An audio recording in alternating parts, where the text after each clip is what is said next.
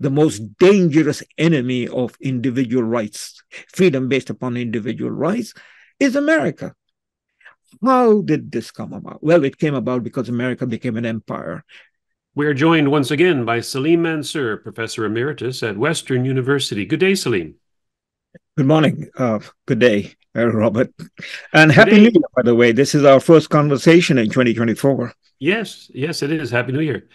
Um, today, we're going to usher in this new year by reflecting on recent political events and discussing what we might expect for 2024.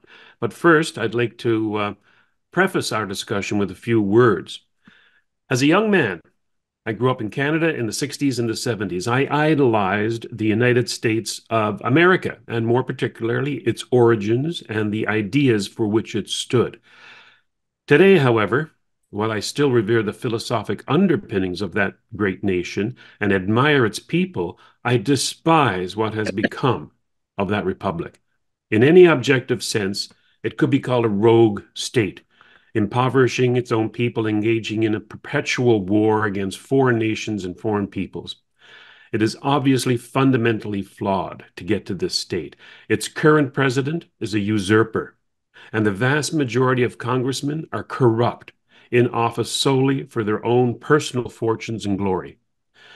In my estimation, the beginning of the end of that uh, once great republic may be traced back to at least 1898 and the sinking of the USS Maine, and the reporting of that incident by the yellow press of Joseph Pulitzer and William Randolph Hearst. Now, we're not going to get into detail here about that, but I would urge you to look up that incident and how it was reported on and what Congress did because of the yellow journalism of the Pulitzer and Hearst papers. The unscrupulous and corrupt Fourth Estate led to America's downfall. And this trend of decay continues today, where the yellow press is now called the mainstream media. The government is now a cabal of power elites, and the people are mere serfs in their own nation, a chattering mob to these ruling elites. Recently, however, there's been a shift in power and information control, most importantly.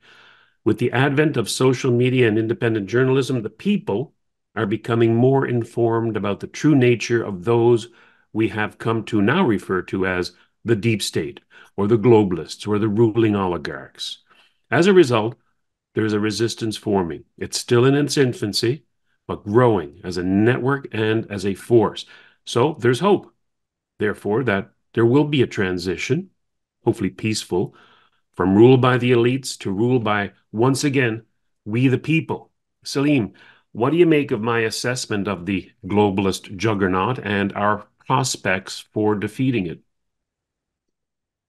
I think your assessment is right on the mark, on the target. I mean, that's been, or that is, uh, the concern of anyone who takes a broad view of history uh, um, and current affairs and ask the question how have we arrived here and then, I mean, as again part of your opening remark, how have we arrived here and what are we to expect in the coming year and going forward? I mean, you have called America a rogue state, and I agree, it is a rogue state.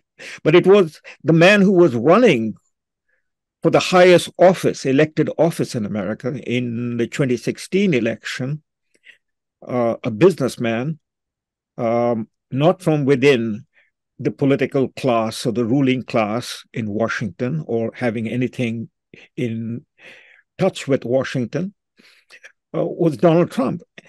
And it was Donald Trump who coined the term that if he is elected president, he will drain the swamp.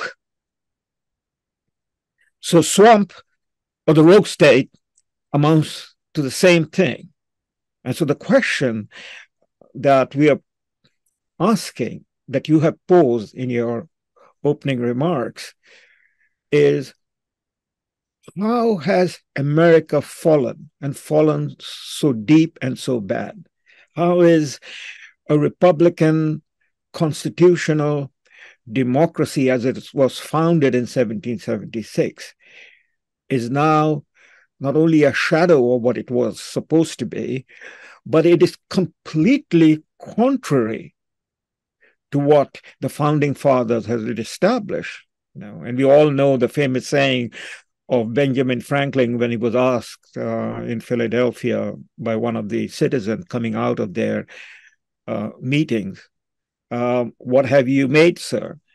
And his famous reply, "We have made a republic if you can keep it." And the Americans have not only failed to keep it as a people, but the Americans who were given the responsibility by the people, and they take the oath of office to protect the Constitution, have basically not only abandoned their oath of office, but have gone ahead to emasculate and destroy that oath of office. So, how have you arrived here? That is the leading question. Before and and then, you know, giving the evidence of where we are and how do we go forward. That's what we are confronted with. You are absolutely again right um, in in dating the beginning to going back to the Spanish American War in Cuba, the sinking of USS Maine, the pretext which launched the war. But what was that war about and what did that war become? Uh, is, I think, the disclosure, the exposure of the falling down of America, of the derailment of America as a republic. There had been many other challenges. I mean, of course, you know, 1898 is the date that you have selected to point out the beginning of this process of derailment or falling down came only uh, 38 years after the guns were fired with the Civil War. We can go back to the Civil War, or we can go forward because we have to find the two ends of the bracket, whether it's 1898 or something else that can be pointed out. And I will make my observation on that in a moment. And the closing of the bracket. I would say that the opening of the bracket or the two ends of the bracket is the election of President Woodrow Wilson in 1912. And the end of the bracket, where America has completely fallen, is the installation rather than the election of uh, Joe Biden as the 46th president. So between the two Democrats, and both of them coming from border states of the Civil War, um, Woodrow Wilson was from the border state, I believe Maryland, from where he had moved on to New Jersey, where he became the uh, president of the Ivy League school, uh, Princeton University, on his run for the presidency. And Joe Biden is from the uh, borderland state, that Mason-Dixie line, that is Maryland, you know. And so here you have, and both of them, both of them are Democrats. Uh, but now we have effectively what we call in Washington, as you you pointed out, that the elected members are all corrupt, or most of them are corrupt. Uh, so it is a uniparty system. It's only by name that there are two parties two choices, Democrats and Republicans, but effectively the swamp is run by a uniparty. It's a combination of both. You know, they're both complicit in all of this. So the two brackets are then, I would say, which of course does not in any way um, take away the point of the Cuban War, the Spanish American War, uh, but with uh, Woodrow Wilson, the 1912 election, number of things begins to happen whose results have now reached the point where we have reached. You know, so let let me quickly make a few points on that matter. What began with Woodrow Wilson and the unraveling of the American Constitution and and the making of um, the post-constitutional America, which is what it is in effect today. It is. It is a post-constitutional America that we are living in. In this period, um, roughly a 110 years, so let's take a century, um, the unraveling of the America that you fell in love with as you came of age, as you pointed out, the 60s and the 70s. Um, and in my case, you know, um, I began my 51st year in Canada. I arrived, um, you know, exactly 50 years ago, or a little over 50 years ago, and went to United States. And from United States, I came to Canada. And so in these 50 years, I have seen uh, that unraveling, that I too, like you, um, fell in love with what America represented. And I th- don't think we were alone. You and I, we were alone. Hmm. Um, this was pretty much a global phenomena. Uh, there was a left right uh, binary opposition of difference in the world at that time. I'm referring to the Cold War, communism, and free societies, capitalism, open society, democracy, however, these would be defined and later on corrupted. Mm-hmm.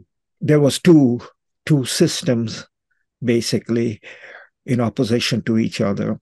And America represented um, the um, the finest uh, exposition uh, or example or icon of a free and open society based upon a Republican constitution. And so we are asking you and I, and I think people around the world, people who have followed America, who have looked up to America, leaders around the world.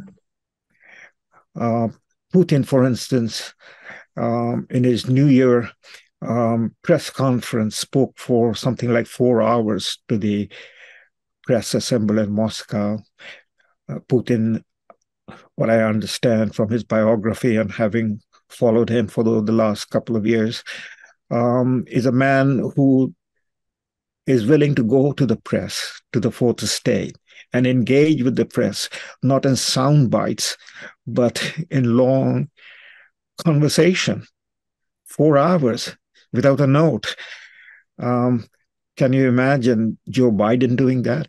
He wouldn't be able to do that for four minutes before he has to take recourse to a teleprompter uh, and get his diaper uh, cleaned out.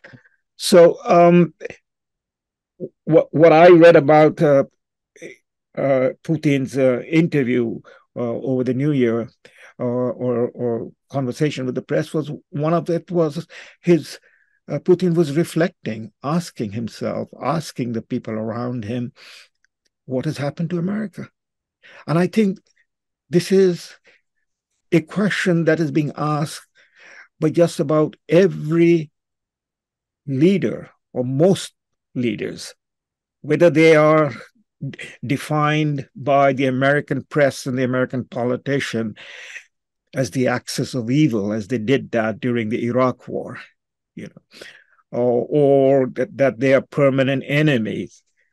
Why they are permanent enemies, that too is an open question. But say the leader of North Korea, or the leader of Vietnam, or, or the leader of Brazil, I'm just randomly choosing these countries because they are from the global south. They're all asking what has happened to America. And they are searching for answers because they're looking at it from the outside. It is you and I and people like us who are asking the same question, but we're asking it from within. You know, yes. Salim, as well, we're picking on the United States, and quite rightly, but the same argument or discussion could be had about Britain, Australia, New Zealand, Canada, um, Western Europe, all of those nations who, when you say, you know, back in the 70s, 80s, 90s, before the, well, early 90s, before the wall fell in Berlin, it was cut and dried. There was good and evil. There was the axis of evil. There was the uh, coalition of the willing. There was the free people, the civilized world. That civilized world we can no longer call a civilized world, at least I, in my opinion because it is not civilized. And so when we ask the questions about what happened to the United States, we can also fill in the blank and also ask the questions about Britain and Canada as well, and all those other Anglosphere nations and Western nations that were once free. Yes, absolutely. Um, talking about the United States, is also talking about what we might, uh, and it is regularly pointed out, the collective West. That is the G7 countries the advanced democracies, so to speak, you know, or what was the Allied powers uh, and their satellites at the end of World War II in 1945. So we are talking about again Western Europe because in in in in the phrase of uh, Winston Churchill, the Iron Curtain had come down from the Baltics to the Trieste, and the Iron Curtain in that sense, divided the world into two halves, politically speaking, in terms of ideology, ideology. Um, and and that two world was, you know, East and West. East was Soviet Union and its satellites, you know, in Eastern Europe, and then um, those countries that the Soviet Union was targeting to make it their satellite, Soviet Union satellite um, whether it was Korea, whether it was Vietnam, you know, uh, Middle East, Africa. And um, west of the Iron Curtain was Western Europe uh, and North America, which became NATO, later on became the G7 countries. So the leadership on the West was with the United States, and that's what we are focusing on. Um, a fish rots from its head and and and and that's what was happening the fish that began to rot from the head in the case of the west is the united states and and and and the ailment the malady spreads right down the head to all the satellites and all the features that make up that one collective West. Similarly, on the other side of the Iron Curtain, the fish rots from the head, and that was the Soviet Union. But we don't have the Soviet Union. The rottenness of the Soviet Union eventually imploded, and Soviet Union got dismantled, dismantled by its own people. Are we headed in the same direction as what happened to the Soviet Union? Because, you know, we were a binary world for almost all of 20th century and uh, the Soviet Union imploded and was dismantled. The collapse of the Soviet Union took place beginning with the bringing down of the Berlin Wall in 1989. And um, the Soviet Union itself ended um, in December of 1991. And it broke apart, it collapsed into its constituent republics, which all became, in a sense, uh, sovereign states, um, the largest being the Russian Federation. So, are we talking about, in that sense, analogous event we are headed into in the case of the collective West, that is with the United States? Is the United States imploding?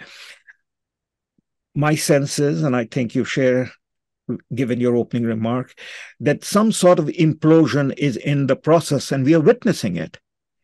The talk of a civil war, the difference between the red states and the blue state, the manner in which uh, we have seen over the last um, seven, eight years, that is almost a decade now, beginning with the primary season in American politics, that is a presidential election in 2015, when Donald Trump announced his candidacy. And then eventually, against all the odds, uh, became the president. Um, and there was no time wasted, even before um, the ink had dried on the announcement on the night of election in November 8th, I think it was, um, of 2016, that Donald Trump had won uh, the presidency, the electoral college numbers indicated that he would be the next president. Uh, so even before his inaugural, the full attempt began to um, undermine his presidency and to destroy him. The whole fabricated um, Russia hoax that the election had been hijacked by Russia for Donald Trump, which we now know all of that was a lie. So this this internal conflict within uh, or between um, the ruling elite, the ruling class in America, and the people.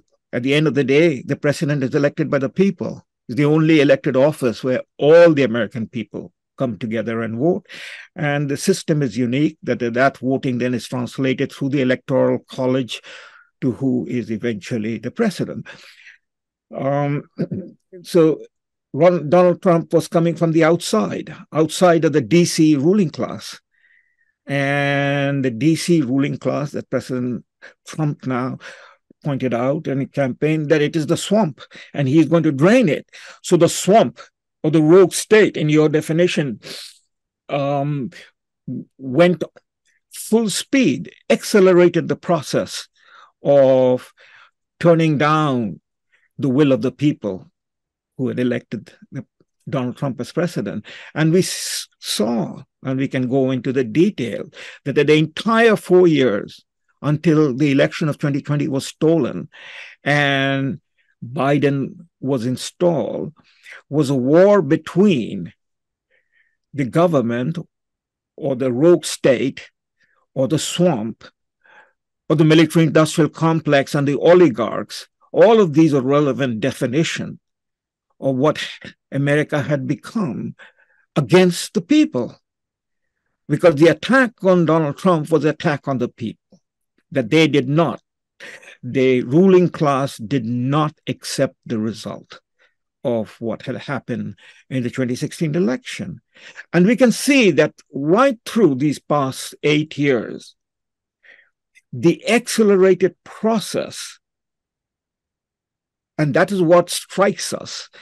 If it had been gradual and incremental, like the proverbial statement that a frog in water, slowly you increase the heat, doesn't feel it till it is boiled it doesn't flee, it doesn't jump out. But if you ratchet up to boiling temperature immediately, the frog will jump out, but he mm-hmm. doesn't. So the incremental process of the destruction of the Republican America had come into force, as you point out, with this the Spanish American War in 1898. And I'm just taking it further down from 1898 to the 1912 election of Woodrow Wilson, the process had begun. And the acceleration took place with Donald Trump because the ruling class saw that if Donald Trump succeeds and he comes back for a second term, then the entire project of the ruling class will unravel. Uh, right now, we've outlined some events and bracketed the destruction of the United States with a couple of events, and and I would agree that on this side of the bracket, it would be the installation of Joe Biden. Um, if we were to ask the question, what was it that happened? Without referring necessarily to an event, it would be ideas and information. And that's why I, I talked about yellow journalism and the Spanish American War because it was the lies of the press at the time that convinced Congress to go to war and the misinformation um, of the yellow journalists.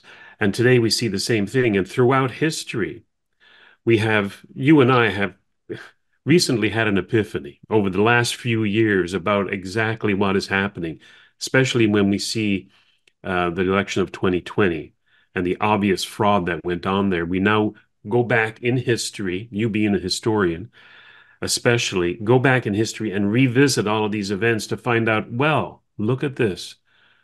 You could say that all of the tragedies, or vast majority of the tragedies that have happened throughout the world, have happened as a result of the deep state and the bolstering of the deep state by the press. The fourth estate, to me, is one of the main reasons that we are where we are today.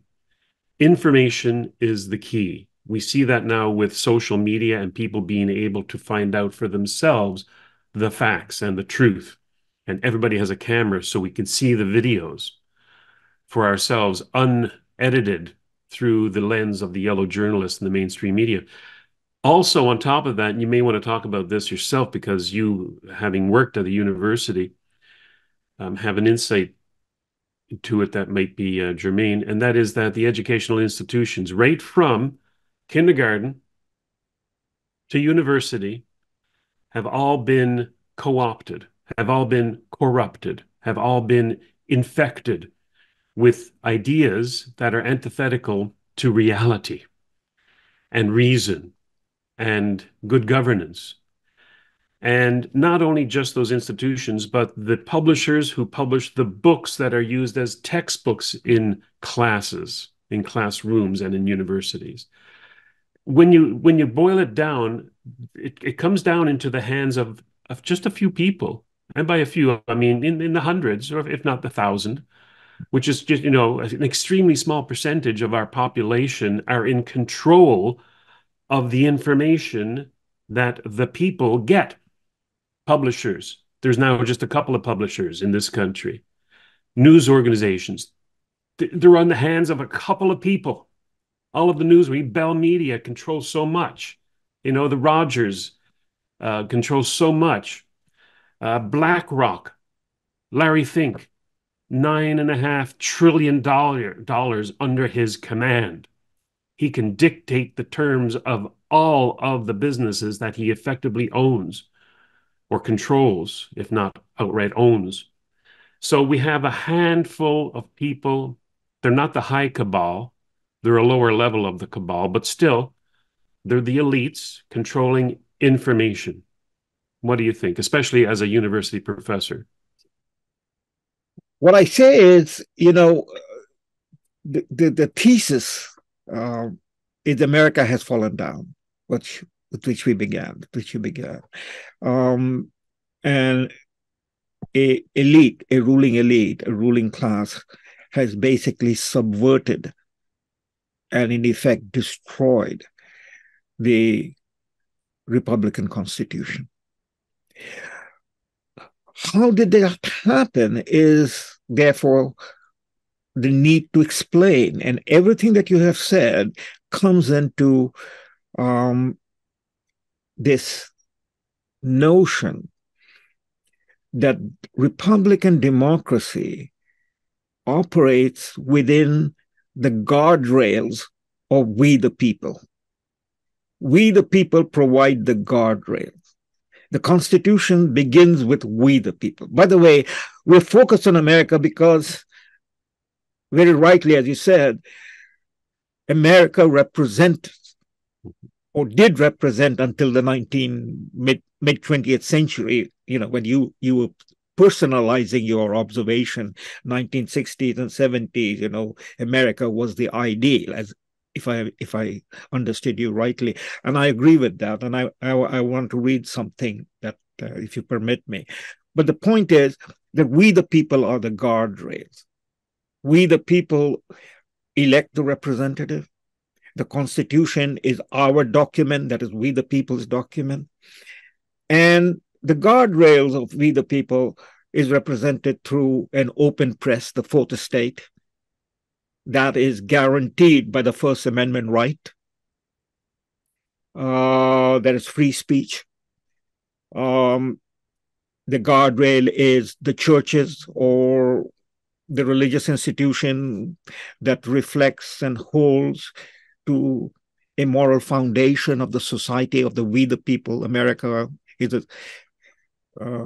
is and was uh, in its founding a Christian nation, and um, the the founding fathers were all in that sense Christians, whether they called themselves deists um, as, as Jefferson did, or they were, you know, devoted members of their own denominational churches is besides the point. It is it was a Christian nation that in its constitution established as um, worked out in the first 10 amendment that there would be no established church so disestablishment of the church the complete separation of church and state that is guaranteed by the first amendment right and the fact that it is there is no established church the disestablishment of church that is no one central church institution is going to be this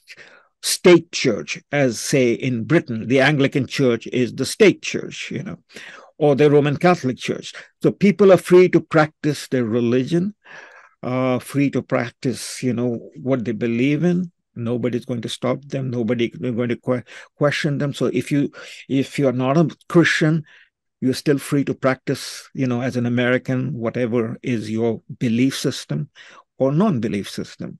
So the guardrail is there. That's the, the, the religious institution. And the non-religious people have their own institution you know whatever it may be. The masonic lodge or you know their clubs and service clubs and so on and so forth.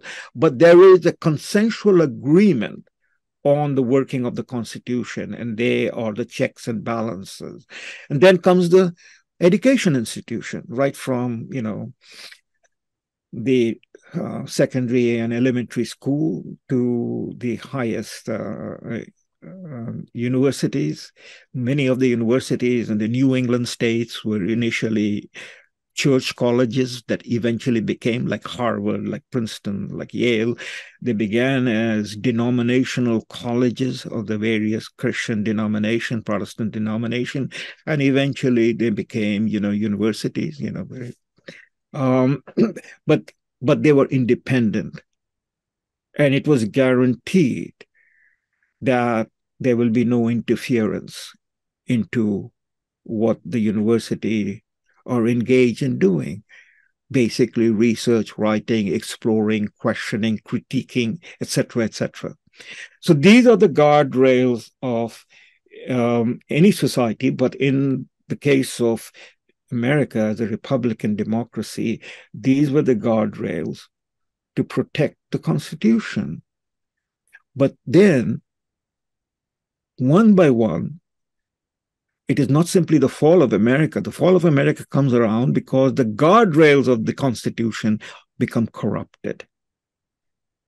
And as the guardrails become corrupted and starts falling apart, uh, which we can explore, the ultimate, which is the constitutional uh, arrangement of America, begins to fall down. You know, the 20, 1912, uh, 1912 election, and as a bracket, a century bracket, Woodrow Wilson and then Joe Biden, there were a number of things that took place. Now we can look back and see what the consequences were. And I would say two developments took place immediately with uh, the inauguration of Woodrow Wilson in 1913. In those days, inauguration took place in the month of March.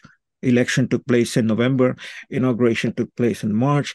Immediately after the inauguration in March, there were two amendments that took place in uh, were brought about. Uh, one was the amendment that brought about the income tax which, in a sense, changed the relationship between the federal government and the uh, states. America is a federation. Each state has its own constitution.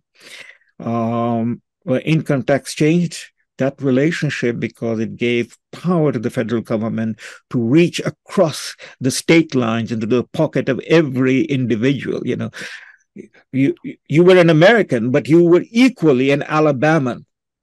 You were equally a Texan or a Michigan, uh, and so on and so forth, because each state had its own, you know, constitution, and it was represented in the in Washington, um, in the federal state at the center, by their representatives.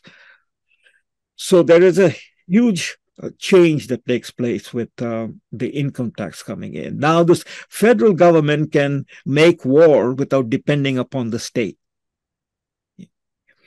The second was the amendment, and I think it was the 17th Amendment that was parallel to the, the 16th Amendment, which brought about income tax.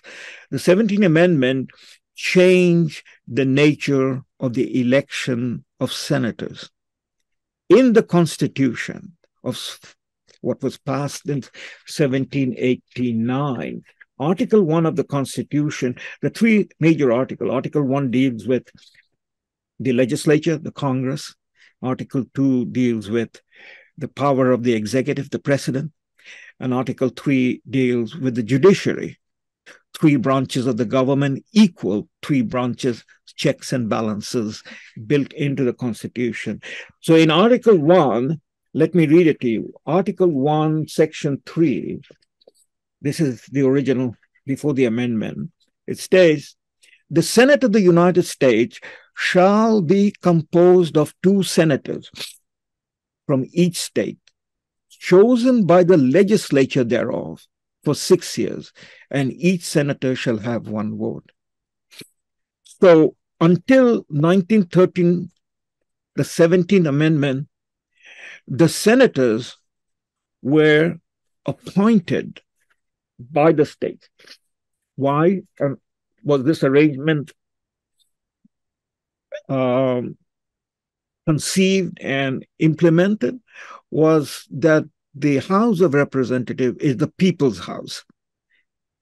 It is based upon population, and the people elect the representative, which is where it should be. And it is the people who are responsible on the question of taxation, revenue, and so on and so forth, and also on the question of war and peace. It is the House of Representatives, the Congress, that declares the war.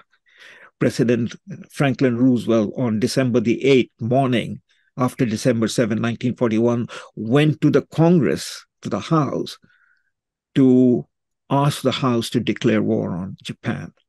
Right? So um, the House of Representatives is the people's house. The Speaker is the people's person. Um, the Senate is the house of the Federation of the states.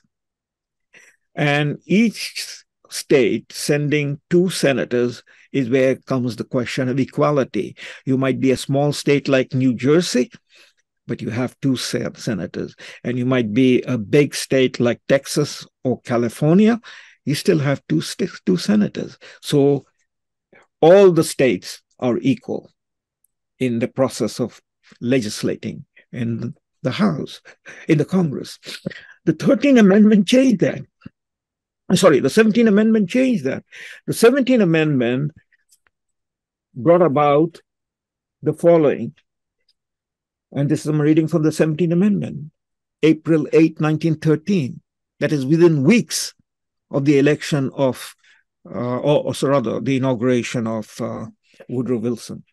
The Senate of the United States shall be composed of two senators from each state, elected by the people thereof for six years, and each senator shall have one vote. In other words, instead of the states appointing the senators, and therefore the senators being responsible to the state and can be recalled by the state back home if those two senators vote against the interests of the state. And who protects the interests of the state? The state legislature, the state governor, and the state legislature. That is the Constitution. But with the election of the senators, the state loses control of the senators. What is the difference then between the senators who are elected by the people of the state and the members of the Congress, the House of Representatives who are elected by the state? So mm-hmm. Both then become open to eventually corruption by the manipulation of the people and the money that is sent to these individuals to get elected. And that's what we have. It's almost the, as if they lost one of their checks and balances. Absolutely. Absolutely. And this this has been part of the struggle but, uh, in, in among the people to return back to the state. You know, when they say the state right, You know, what is the responsibility of the state? The state is supposed to run every aspect of the people's interests within the state and within the federation. The constitution can only, that is, what is enumerated. The federal government can only legislate, tax, or act upon what is enumerated in the Constitution. Anything that is not enumerated in the Constitution is in the domain of the state, in the realm of the state. All right. But with this 17th Amendment, which was not immediately noticeable, it was passed, it was propagandized, and it was sold on the notion of democracy. But America is not simply a democracy. America is a republican system of government within the Constitution. But now the people say this is democratic. We are going to elect our senators. Well, lo and behold, you did elect your senator. The consequences of that has played out over the 100 years. That is, once elected, the senators and the congressmen no longer end up representing the people. They end up representing those who elect them, that is the money class.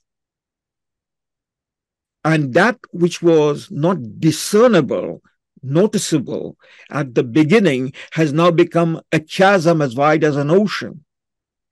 The people in Washington, they say whatever they want to say during the election time, but they come to Washington and they are captives of the donor class, whether the donor class are the oligarchs who are financing the Republican Party, the Koch brothers, for instance, you know, uh, or they are financing the Democratic Party, the Israeli lobby, or you know the hedge fund donors, uh, the Bill Gates, the George Soroses, the Jeff Bezos. It doesn't matter. The people have been the the the the link between the people and the representative has been cut. And this has been the beginning of the eventual fall of America. So, what you see, again, going back, I mean, we're trying to connect the dot. There are lots of dots to connect. We won't have the time, but I can make a large remark and, and we can connect the dot, or people can connect the dot by themselves, doing the doing a, a sort of uh, uh, look into history.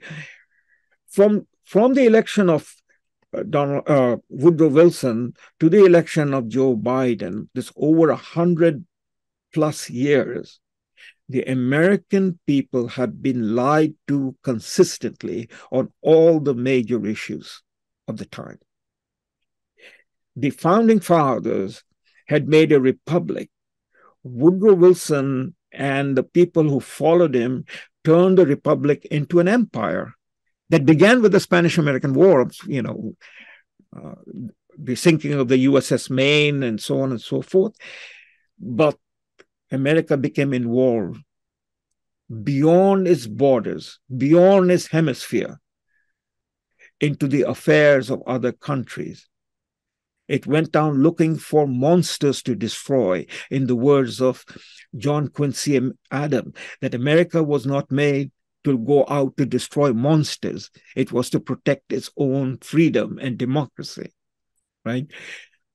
President uh, Washington, the founding father, the, the, the first president in his farewell address said, you know, do not get entangled with the politics of the old world. At that time, the old world and new world was America and Europe. Do not get entangled with the. Don't make alliances with any country. Don't choose and make any one country your special, you know, ally.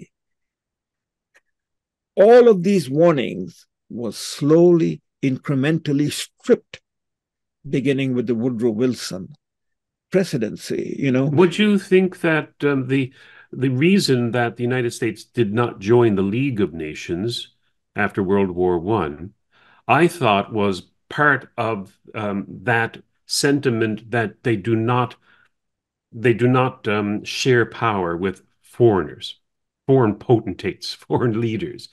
they will not be subjected to the vote or the whim of other nations. So they did not join the League of Nations. That was my understanding of perhaps why. and yet, of course, post post World War II, 1945, you have the United Nations now, and they they join. Matter of fact, they host it.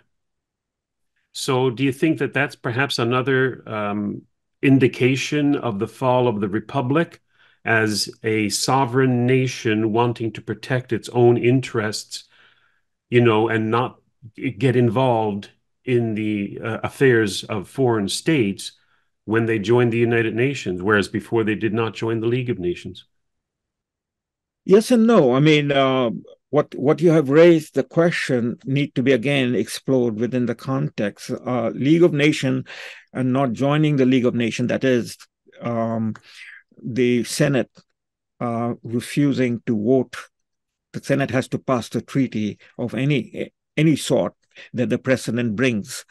Um, and so um, the League of Nations, the League of Nations was being set up after World War One um, in 1919. Uh, treat, the Treaty of Paris uh, or Versailles, uh, part of it was about setting up the League of Nations, uh, and it would have been a uh, basically it's a European effort. Uh, if you go back to that time period and look at it, Europe was still the power center. America was the outsider coming in. Uh, the Republican senators in uh, Washington opposed um, Woodrow Wilson for a number of reasons, but the primary reason, uh, in my view, was that the president had lied to Americans and taken America into a war which had cost over 130,000 lives and, you know, destruction, money, and so on and so forth. He had lied.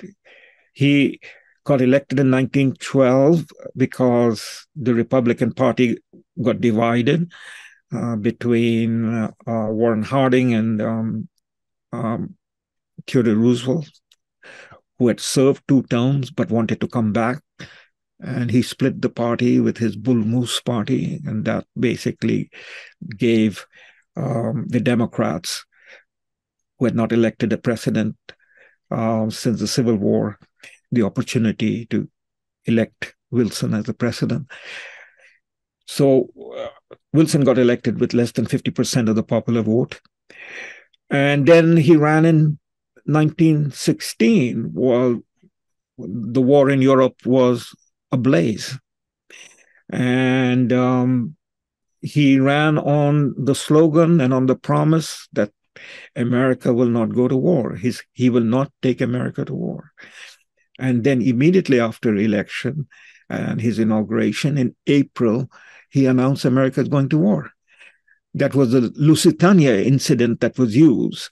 So there you have it, the pretext of Lusitania, uh, which was just like the Gulf of Tonkin. Gulf USS Maine. Vietnam.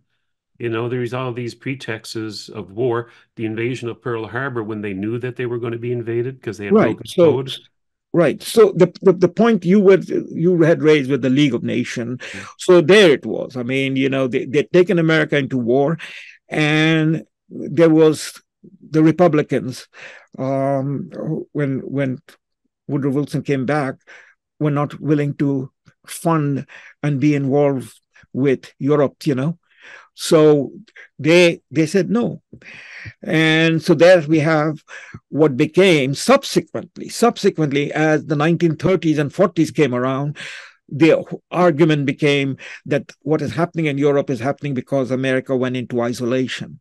America went into isolation, one can argue, was going back to America first politics of George Washington and the founding fathers.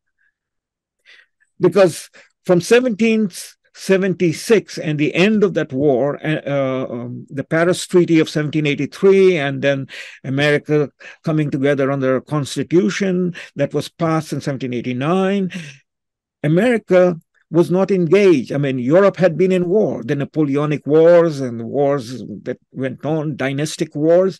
Uh, through the 19th century, America did not participate. America did not go out there. America had its own problems and America dealt with its own problem, rightly or wrongly. The largest problem, the biggest problem came with the Civil War.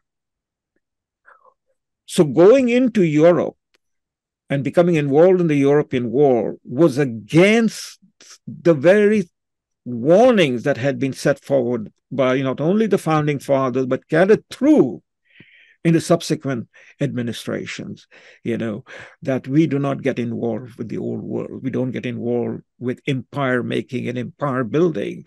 But it all began, yes, in 1898 with this with the Spanish Empire beginning to fall apart, and America intervened. It was not only Cuba, it was Philippines, and so on and so forth. And America started becoming an empire. And what is the disease of an empire? The disease of an empire is empire nullifies and negates freedom at home, just as it engages in coercing people abroad. The, an empire is coercion. It's running the lives of other people. It's imposition. It's conquest. And ultimately, it is military rule. So whether it was Britain, whether it was France, whether it was Spain, whether it was Holland, Dutch, all of these empires were whatever might have been the charade of democracy at home.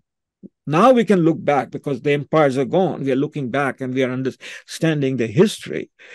Whatever may be the, the talk about freedom and democracy and parliament was denied to the empire. Take the case of India, the crown jewel of the British Empire, the largest portion of humanity that was run by the British Empire. It was a conquest and it was an imposition, it was a military rule. It was a charade. Britain ran the empire. Britain ran several hundred million people and their lives. Same thing with the French, same thing with the Dutch, same thing with the Belgium in Africa, and the Spanish in Latin America, and so on and so forth. So the benefits of the empire that is squeezing and plundering and pillaging the empire and brought home to the people of the empire, that is Britain and Holland and France, they benefited from that accumulated wealth that is brought home in whatever form. And the glory of the empire masks the reality of military power and freedom. This is what the founding fathers warned against.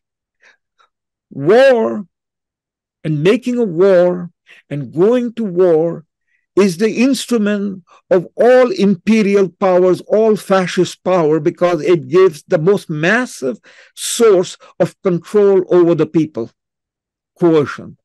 You go to war abroad and you coerce the people at home.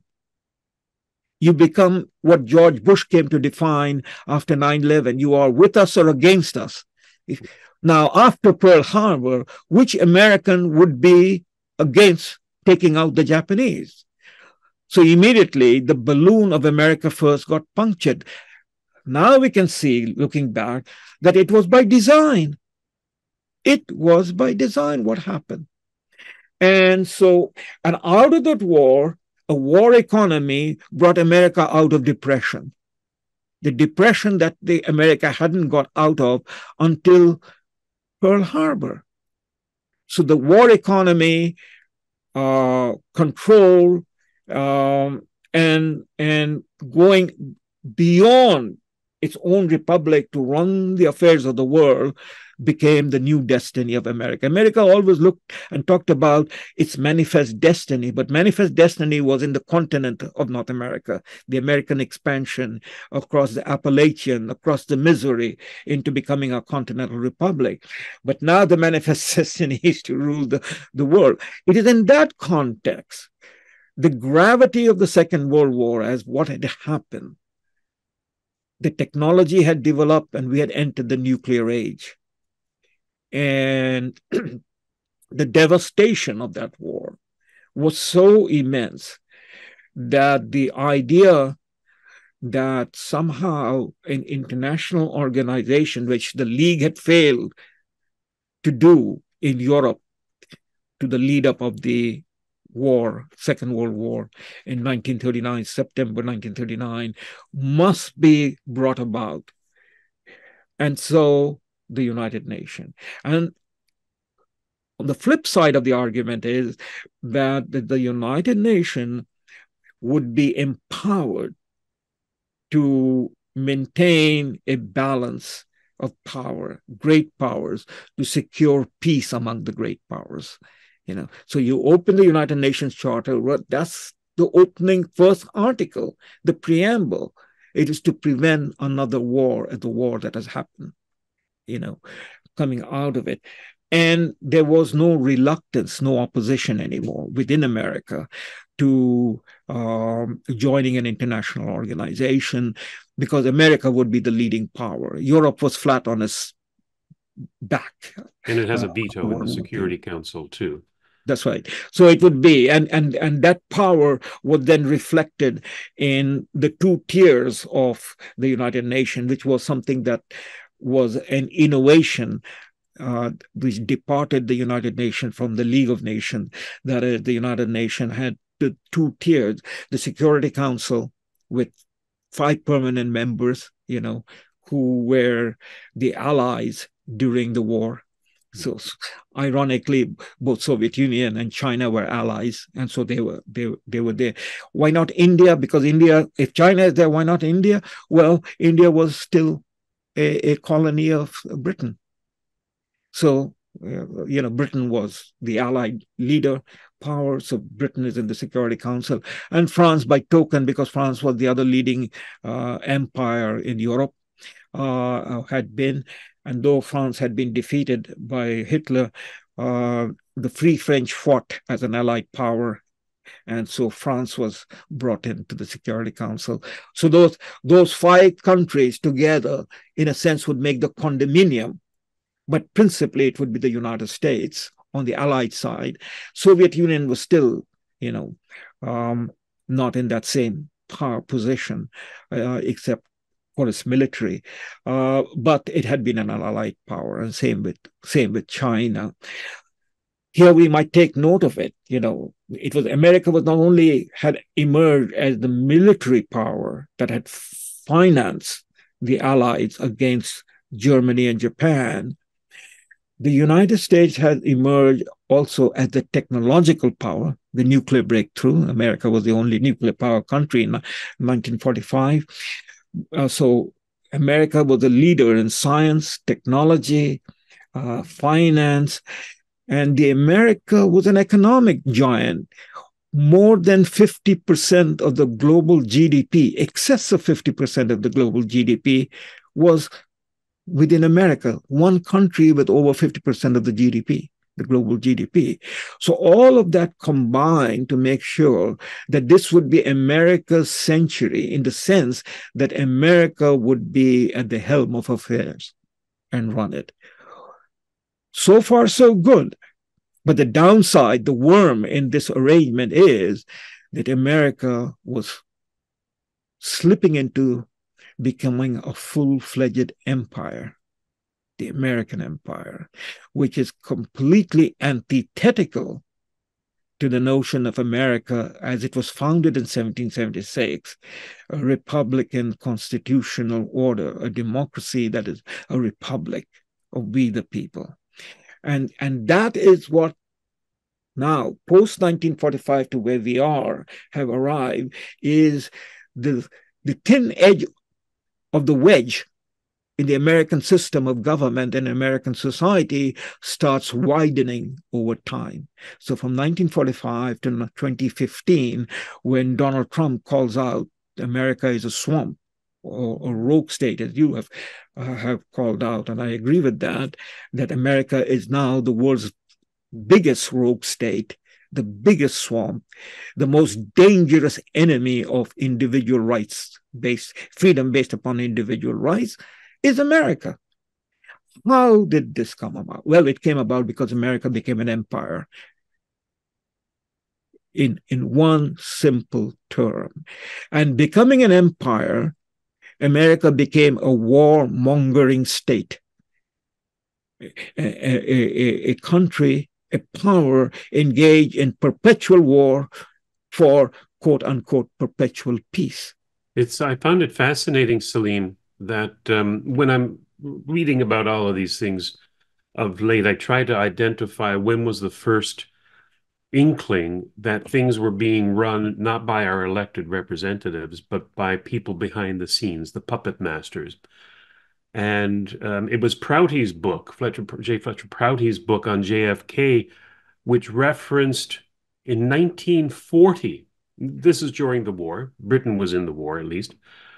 Um, and it was a bombing of Rotterdam. And Winston Churchill was overheard saying that they're being driven by a high cabal, that there are forces that allowed this to happen or maybe orchestrated these things.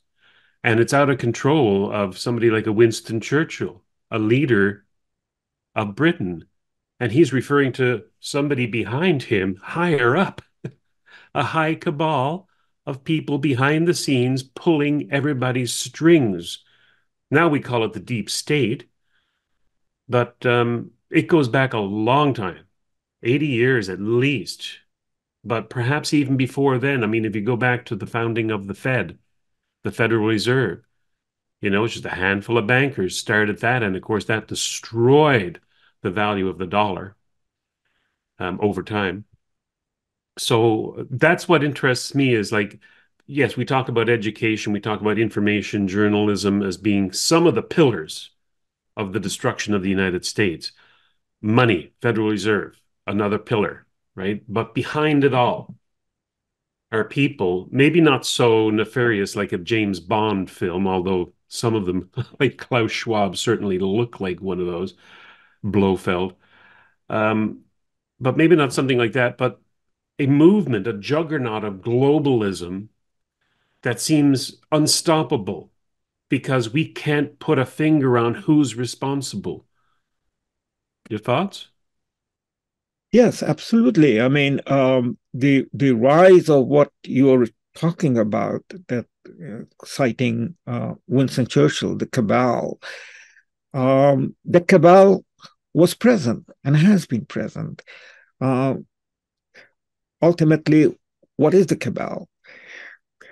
That collection of individuals or people or interests that controls the lifeblood of an economy the banking system, you know, uh, and therefore finances it, you know. And that cabal had arisen in Europe and would become transported to America.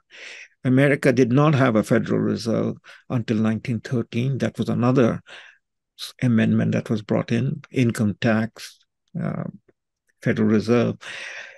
And then, as I pointed out, um, the um, method of electing senators, uh, yeah. we changed the whole relationship of checks and balances within the government, uh, within the republic.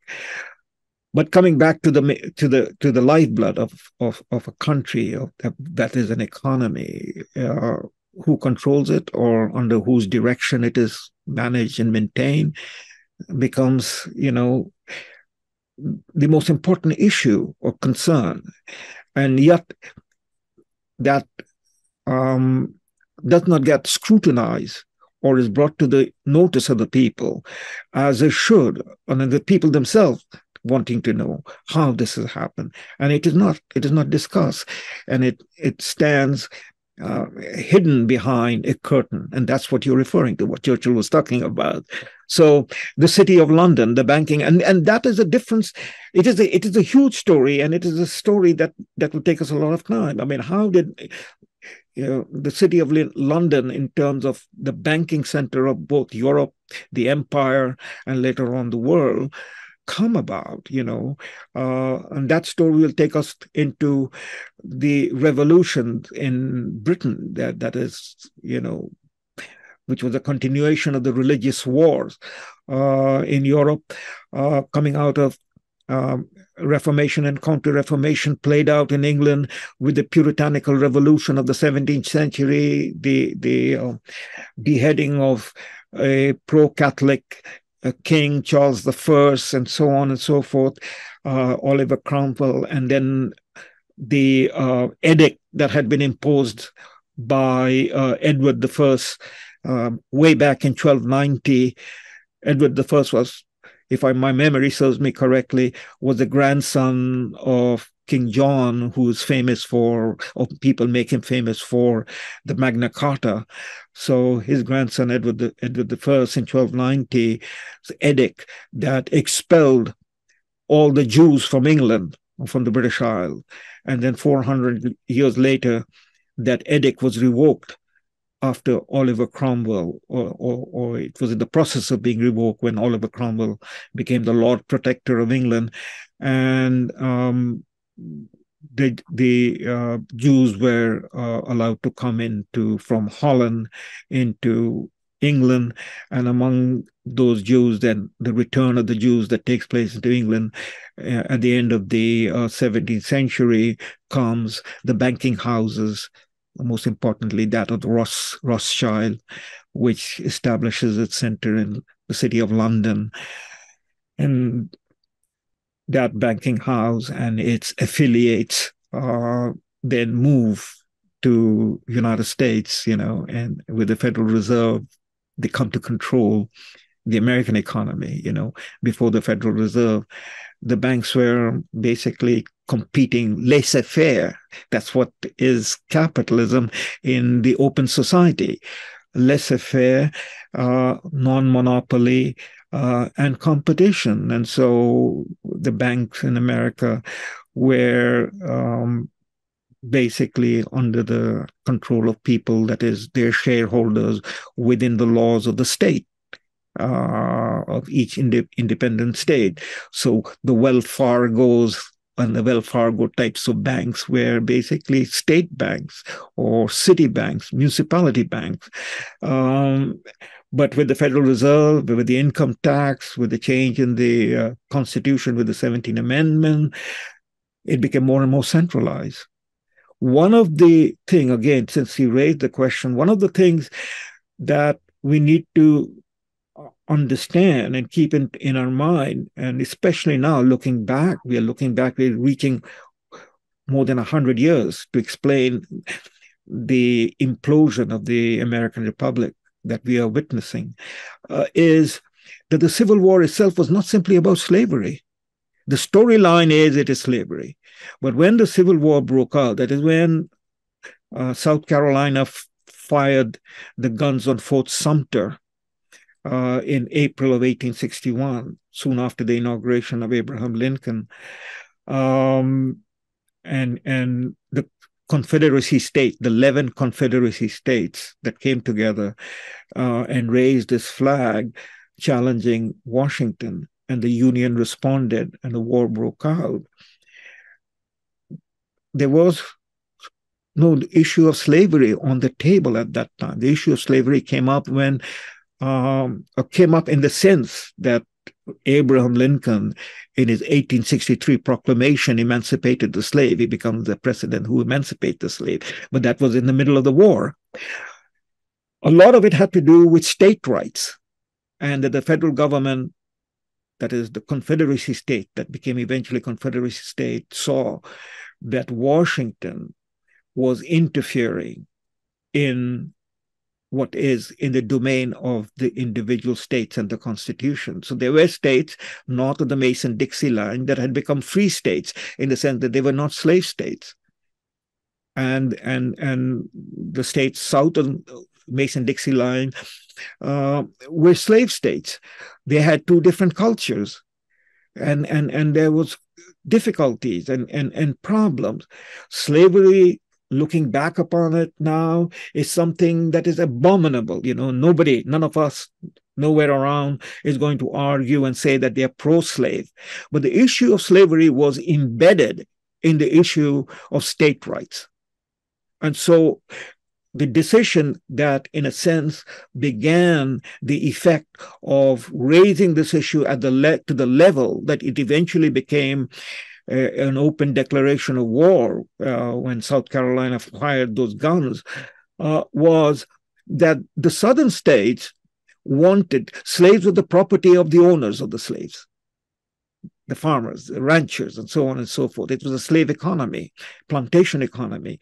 Um, and the South wanted uh, that individual slaves that had fled uh, the slave states for freedom in the free states, that is not to the Mason Dixie line, should be returned. And that was the issue that went to the Supreme Court because they were properties of the South, you know.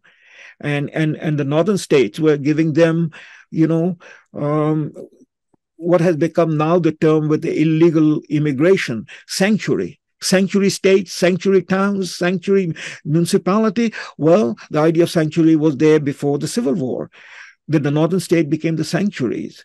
Uh, they became the whole underground railway. And if the northern states couldn't give the sanctuary, then they moved to uh, Canada, to the Maritimes, to um, Quebec, and to Ontario, the underground railway for the slaves.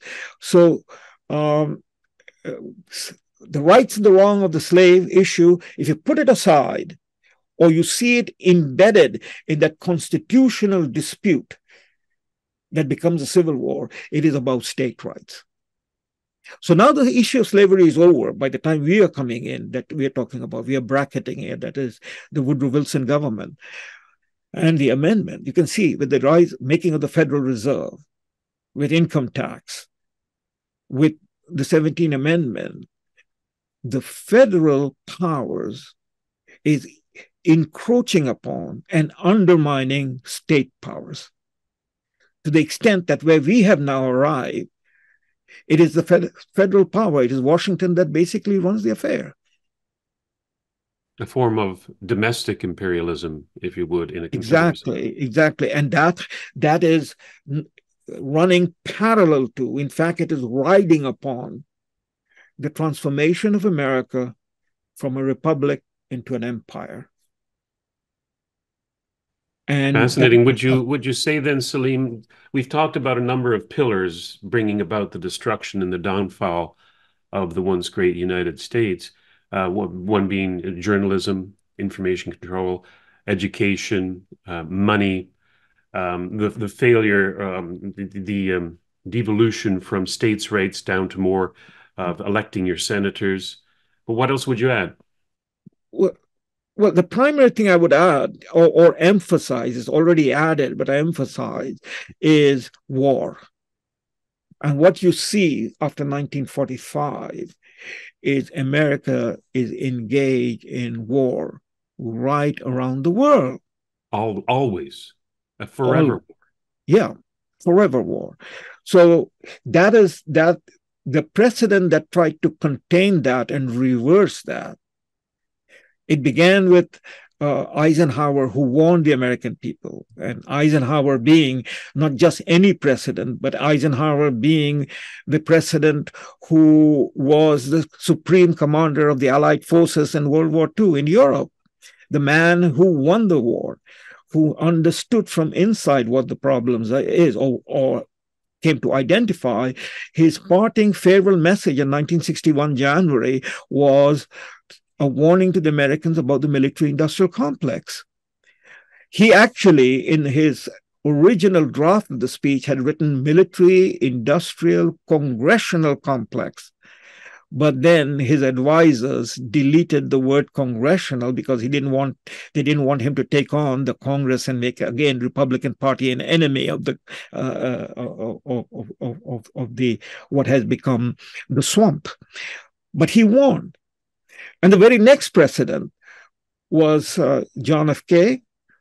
And John F. K. Uh, Kennedy, uh, after the uh, Cuban Missile Crisis, came to the conclusion that um, the military industrial complex has not only to be contained, but it needs to be, you know, uh, brought down. And the two things that he uh, began with, which he never got the chance to complete due to his assassination, was one coming to uh, peace with um, peaceful uh, negotiated diplomatic settlement over the Cuban Missile Crisis instead of a war, which many of his generals were wanting. You know, I mean, Curtis LeMay is on record, uh, who was the uh, commander of the United States Strategic Air Force, to bomb uh, uh, Cuba. Um, and, and, and they wanted that war. Um, that, but, but Kennedy um, engage with Khrushchev, both openly and through back channel, to not only diffuse it, where the missiles were removed. Kennedy removed the missiles from Turkey that was pointed at uh, uh, uh, Russia, and was the first president uh, in the nuclear age to come up with uh, uh, a treaty that was overwhelmingly voted in favor of at the Senate um, was the limitation treaty, the nuclear test ban treaty, the first step in the way forward uh, with uh, negotiation with the Soviet Union to start the process first of halting any further development of nuclear weapons and then to you know begin the process of uh, bringing it down. And so the test ban treaty was the first treaty. And the second one was that just before uh, he left for Dallas uh, in November 22nd, 1963. Uh, that was the beginning of his um, campaign that would begin uh, in January of 1964 for his re-election. Um, he signed the National Security uh, Memorandum, uh, Action Memorandum. Um, I think the number was 263. he signed it to begin the uh, pullback from Vietnam. Uh, that particular memorandum authorized the withdrawal of the first lot of American servicemen in South Vietnam. I think the number was something around a thousand. At that time, in 1963, there were 15,000 or thereabouts servicemen um, in Vietnam. Um, providing support to the South Vietnamese government against North Vietnam, and um, uh, he that that uh, memorandum was would be the prelude because it was stated in the memorandum itself that by December uh, 1965, December 31, 1965, America would complete its withdrawal from Vietnam. In other words, he would be taking this memorandum into the campaign for 1964 election, and then uh, he would be bound and committed to a complete withdrawal from Vietnam uh, in his second term, in the very first year of his inauguration in his second term, which would be in January 1965. And none of that happened.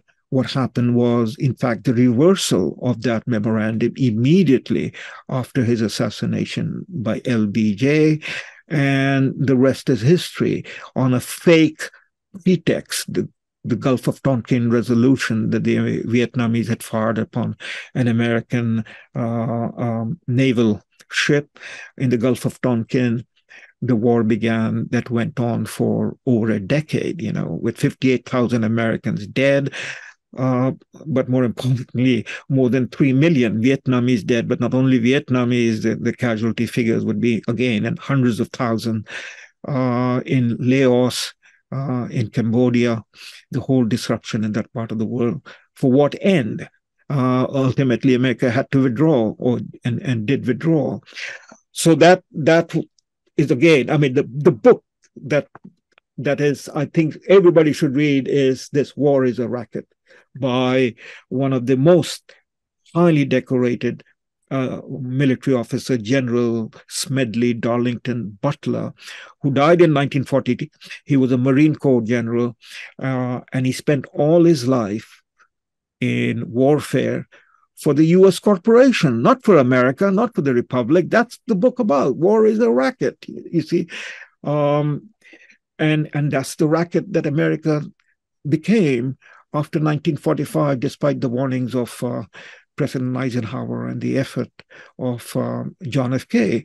Uh, so from LBJ on, that one and the other one, which is in a sense a taboo subject, but let me put it down here, against the advice of all the senior members of the government, that is, uh, the Secretary of State, the Secretary of Defense, the Deputy Secretary of Defense, uh, and so on and so forth, the, the National Council, uh, uh, uh, uh Security Council.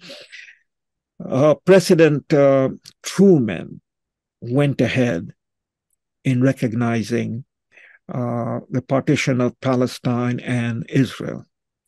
the advice was against it, and the advice was consistent with uh, the warning of President Washington that you do not get entangled with the affairs of the old world. This was the legacy of the British and the French Empire and, and World War One. You do not get involved and entangled with that, and you do not make any one country your favorite dependency or allied with. The American national interest is far wider than any particular one country. So this notion of special relationship that emerged in World War One, that America and Britain has special relationship. No such special relationship if people knew that Britain and America fought in 1812, 1814 war. That Britain, that America's uh, uh, republic was founded based upon an insurrection. And if that insurrection had failed, all of the founding fathers would be hanging and be hanged by the British, you know and, and that Britain supported the Confederacy states during the Civil War. It was Russia that supported uh, the Union. All of that was reversed in World War One and continued the special relationship and the special relationship that was founded in 1948 uh, um, with uh, with Truman against the advice of, of, of his senior most cabinet members who had all served uh, under uh, President, Wilson, uh, President Roosevelt. So that relationship, which was in, in effect a relationship that was created by money and by propaganda and by domestic factors, has become now the albatross that is hanging on America and, in fact, suffocating America, where America has come today, you know, um, in, in terms of its uh, special relationship with Israel. Uh, and um, the American Congress, as Patrick Buchanan, who had served President Nixon as a longtime Republican uh, and an America First uh, person, pointed out that there are two occupied territories in the world. One is the West Bank, and the other is the Congress. occupied by whom? By the Israel lobby and the Israeli state. And that has come to haunt America uh, today, you know, and haunt the rest of the world and the perpetual warfare, you know, uh, that has gone on. So as, as, as we try to wrap this up, the end is the warfare, and the warfare is not simply against uh, a targeted enemy that is fabricated and created. Soviet Union was once an ally. Soviet Union then became an enemy during the Cold War. The Cold War ended. The Soviet Union got dismantled, and nevertheless, America started pushing NATO, whose function was now basically well past the expiry date. Yes. The NATO was created for the containment of Soviet Union on the European continent from advancing westward. Well, there was no more Soviet Union. And so the eastward expansion of NATO ultimately led to the Ukraine war. Uh, and two years later, these are the proxy wars. So you, these are pretexts that are created for America's military industrial complex to keep churning out its profit making venture. Um, two years into this war, I counted right at the outset of the special military operation in February 2022 with you that this war is going to end in a disaster for the collective West. And it is precisely, it has ended in a disaster. You know, Ukraine has been destroyed. By whom? Not by Russia. But that is the common narrative in, in, in the collective West, in Canada, where Canada saluting in the parliament, 338 member parliament, not a single voice in the parliament saying, you know, hang on, halt, pause. Who are we saluting? We were saluting not only a Ukrainian Nazi president, Zelensky, we were saluting a Waffen, Waffen SS, you know, former soldier that fought against the Soviet Union when Soviet Union was our ally. The complete perversion of our political system. How did this come about? Well, it came about with the the, the, the leading country of the of the West, that is the United States, rotting in its head, abandoning its republican values, the values of freedom. And so you can line up all the attacks upon the people. It was not simply attack upon the enemy that was fabricated in the Ukraine war, Russia, in the wars in the Middle East, you know, on the pretext that Iraq and Saddam Hussein has weapons of mass destruction when there was no weapons of mass destruction. That doesn't mean Saddam was a good guy. But what business did we have to go making war of over $2 trillion and smashing the American economy. So you, you pile it up. We have been living a world of lies, and there's nobody to call it out because America is no longer a republic. It's no longer a free society, an open society. America is now an oligarchy controlled again by a cabal.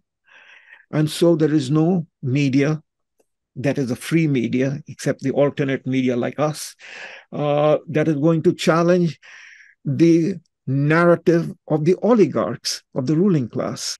So there is no longer what you and I and others and the world that looked up to America saw America as the open society, as a society where individual uh, where freedom as individual rights are fully protected.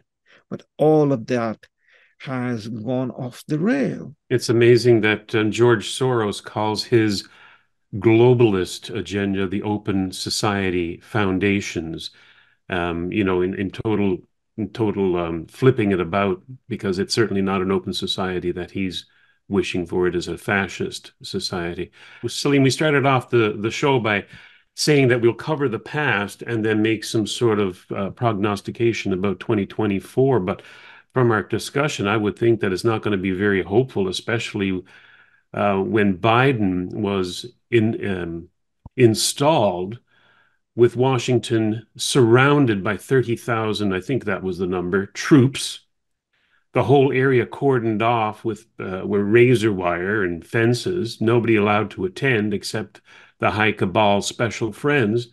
So I mean that that was the date that you said was was the bracketing, right? The end of the United States, as far as I'm concerned, as a, as a nation, uh, as a republic, as a democracy, as anything. It is a dictatorship right now.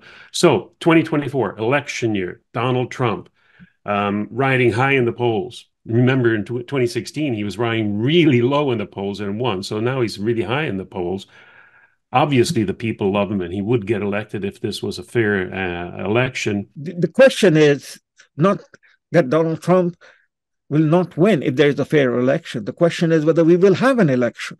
Some people are suggesting that since all of the tactics of the Democrats and, and the Biden corrupt immoral regime are failing, all of the indictments are failing, all of the rhetoric by the yellow journalists are failing and the people love Donald Trump and he would get an, elected in a landslide. Some, um, for example, Tucker Carlson, are suggesting perhaps the only thing left for the deep state to do is what they did with John F. Kennedy and Dealey Plaza in Texas. What do you think? The deep state have been trying to assassinate John F. Uh, sorry, Donald Trump, and um, he has so far um, been successful in evading it. In other words, there are forces that are protecting him.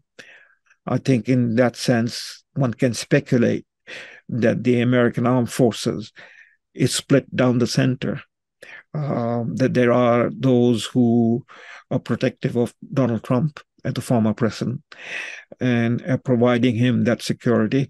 And then there are those who are with the installed president, President Biden, you know, people like Austin and others. Austin is a four-star general, Secretary of Defense, and and and they are waging both domestically a war and, of course, waging a war abroad. So 2024 is a continuation of wars. I mean, we saw that, you know, it began with, with uh, the Ukraine war in 2022 when the midterm election happened and everybody was riled up and supporting that uh, 22 campaign. Um, the Uni Party was fully behind the war and so on. So 2024 is again another war uh, year with war, but this time the war has spread out of Ukraine into the Middle East into into Gaza and Israel. Yemen. And the the Israelis, Bibi Netanyahu and company, are trying to widen that war by engaging with uh, Lebanon, Hezbollah, and uh, Iran. The target is Iran, just as in 2003 after 9/11, the target became Iraq uh, to destroy Iraq the target is now Iran. The question is the world has changed between 2003 and 2024. In the two decades, a lot has changed. And what has changed fundamentally, if we move away from politics into the actual reality of where the world is, uh, the changes has been in the growing rupture or split between North and South, between the global North, which is again headed by America, uh, and the collective West, that is the European Union, NATO, uh, World Economic Forum. You know, all of these are part of that collective West, and and uh, the collective West headed by America under the democratic power. That is why Trump had to be thrown out, um, so that uh, the collective North or collective West could go ahead with its fundamental effort to make the transition into one world government, rule based order. Um, and then the resistance to that, that was under the surface, fragmented, um, uh, and, and no cohesive center for that resistance to this program of uh, one uh, world government, uh, which is the World Economic Forum agenda translated through the UN and uh, adopted by the Democrats in America, the Uni Party, basically, and in Canada and other G7 countries and European EU countries. The resistance has come together, and that resistance has come together as a result of the Ukraine war. The whole anticipation going into the Ukraine war that America launched, the pretext uh, of pushing um, uh, the the expansion of NATO eastward, ultimately into uh, bringing uh, Ukraine into NATO, and therefore Ukraine becoming a platform for NATO, especially for nuclear weapons, led to uh, the special military operation um, uh, by Moscow, by Putin.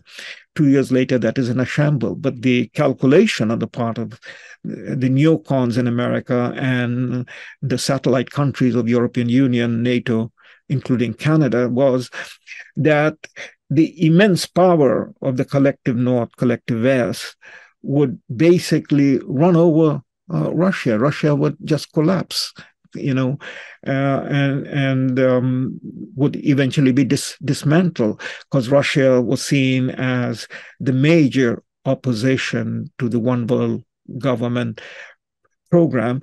And then if Russia is flattened, the next one would be China, you know, and and and and so with that, there would be no opposition, no resistance.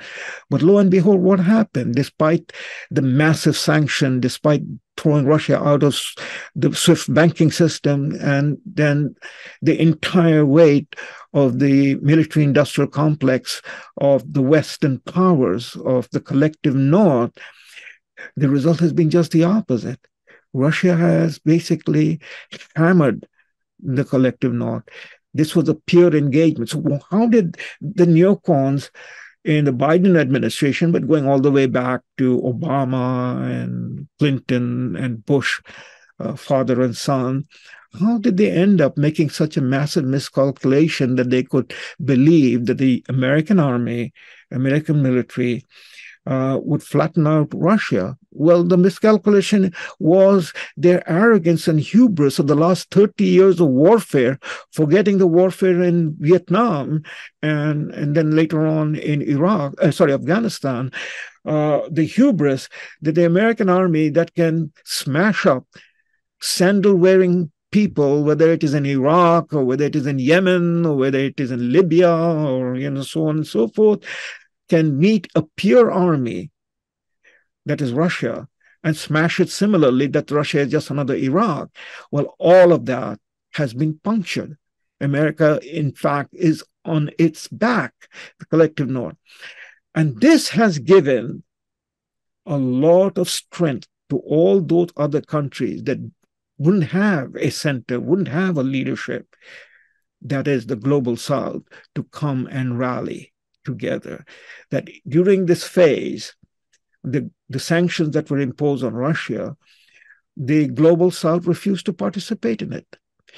Moreover, uh, what Nixon had achieved more than 50 years ago in driving a wedge between Russia and China, that is Soviet Union and China, and China had emerged in some sense as an ally and a dependency of the United States in the period after 1972, the neocons of the hmm. Biden administration ended up doing just the reverse, pushing China and Russia into the closest alliance.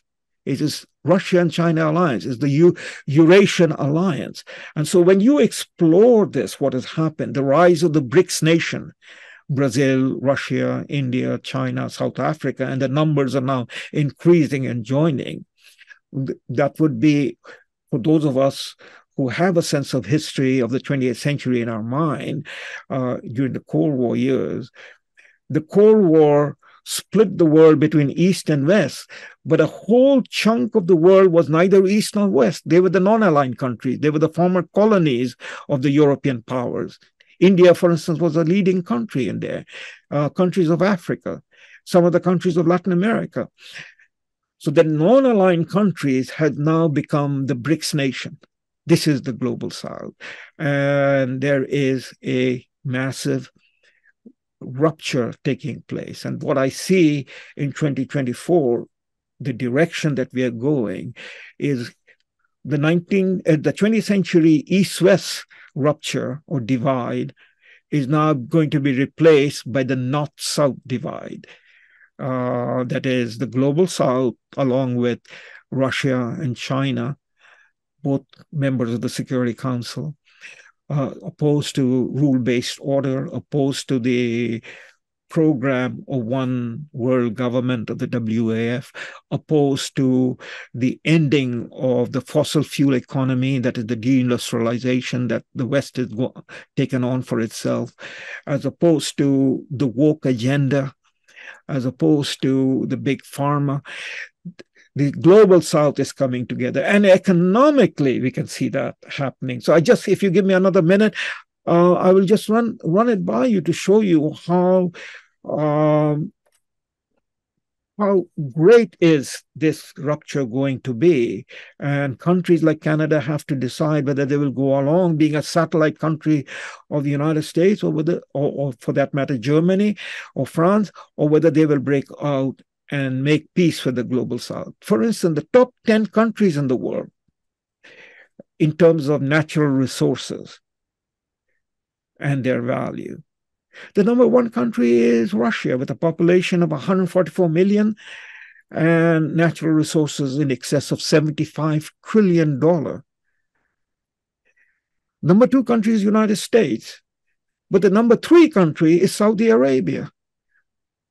Number four country is Canada, but the number fifth country is Iran, then China, then Brazil, then Iraq, then Venezuela. So the top 10 countries in terms of natural resource values, seven countries are from the global south. In terms of GDP ranking, the number one country of the top 10 is still the United States. But according to the PPP ranking, which is the purchasing power parity ranking, the top country is China.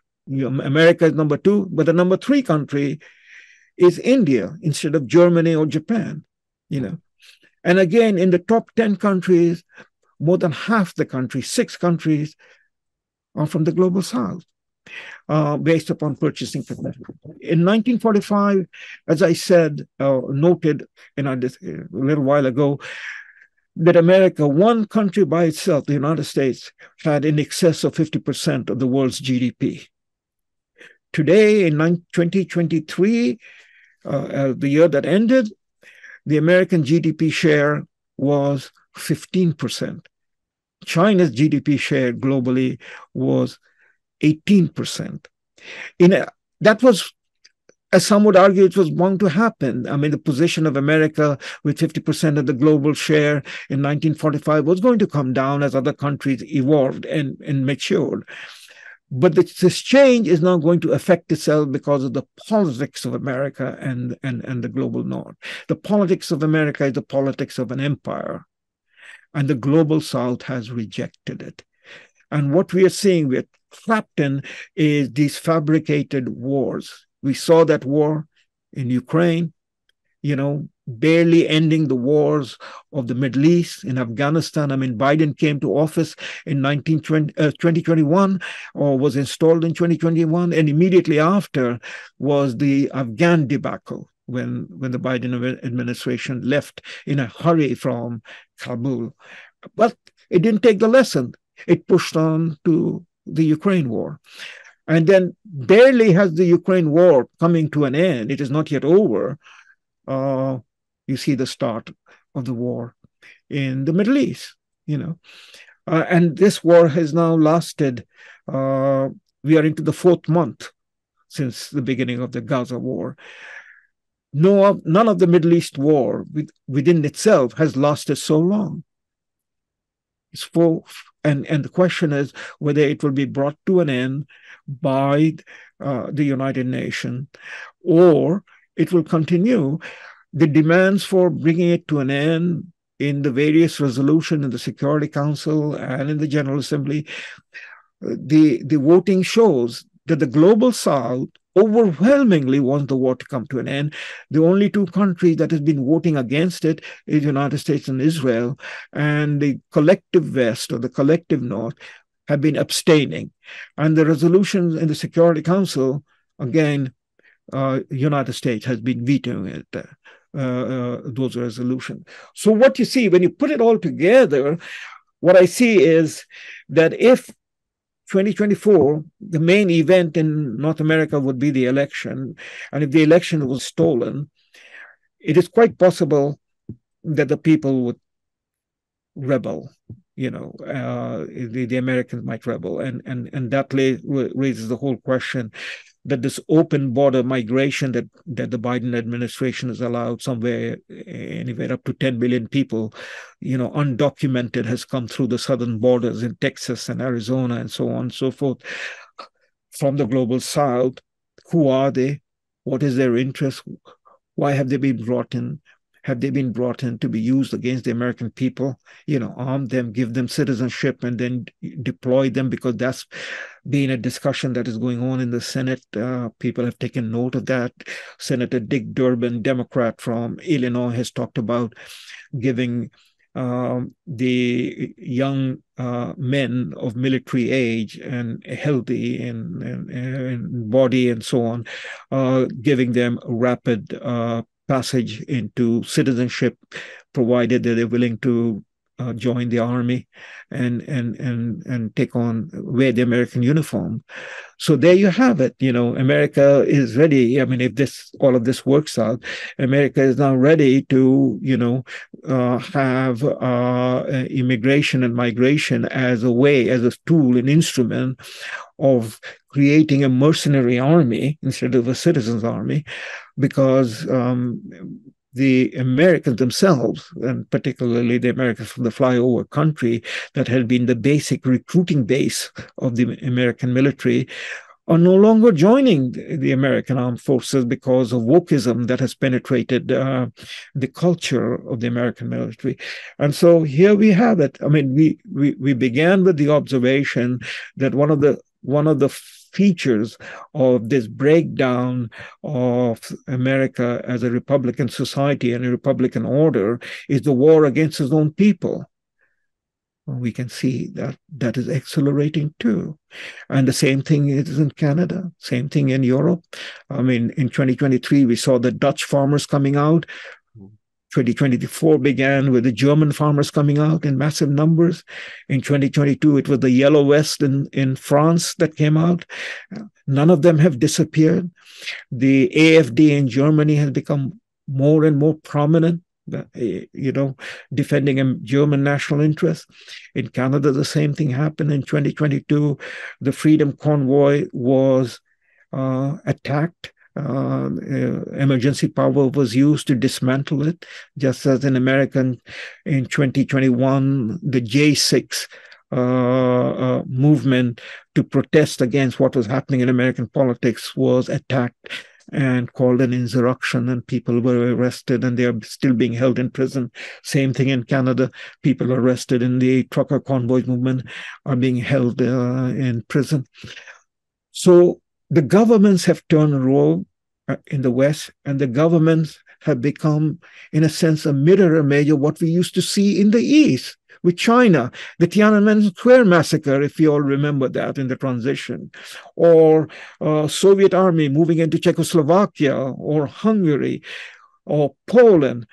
Well, here we have the American army or the American people in uniform, the law enforcement agencies, uh, striking against their own people in Canada, in, in, in, in Europe.